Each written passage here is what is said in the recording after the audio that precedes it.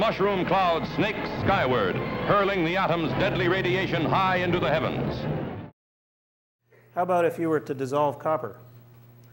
Um, if you try to dissolve it in water, it should be obvious to you that's not going to work. I mean, the roofs of the Parliament buildings and the Supreme Court are made out of copper, and they're not dissolving, at least not at an appreciable rate. So you might have to do something a little different. Suppose we try it first, and then we'll figure out what the chemistry looks like. The best thing I could think of that is made out of copper is a penny. There it is there. And actually, let's turn it over because I don't like her very much, so we're going to see what happens when. It's probably against the law to do this. I should have brought an American penny.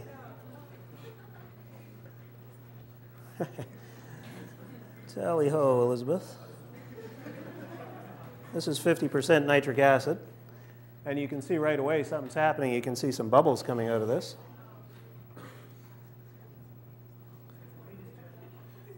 Long live the queen. Uh, you can see a few things. I don't know if you can see the color, but there's a lot of greenish coloration coming off of this, and that's the copper ion going into solution. Whenever you see a blue-green sort of aqua color in solution, there are probably copper ions in it.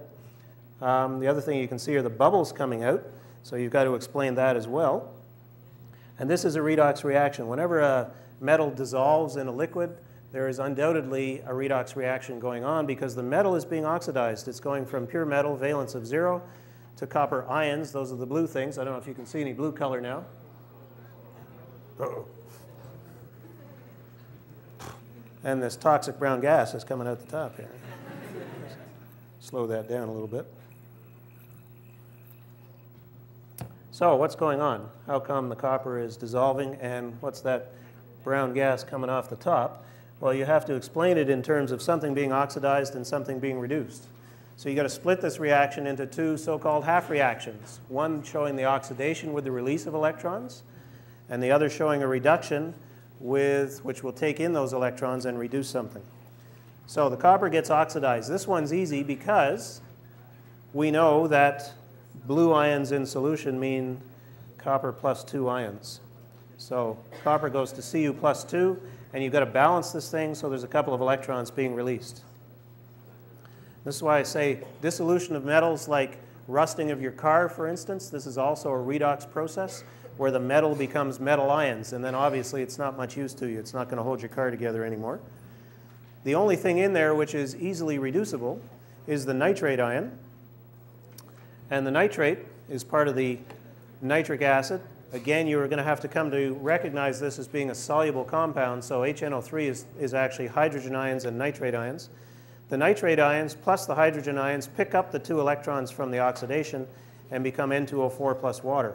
So it's the nitrate that gets reduced and it becomes dinitrogen tetroxide, which is also present as two NO2s. And it's that which is the, uh, boy, this thing's really going now.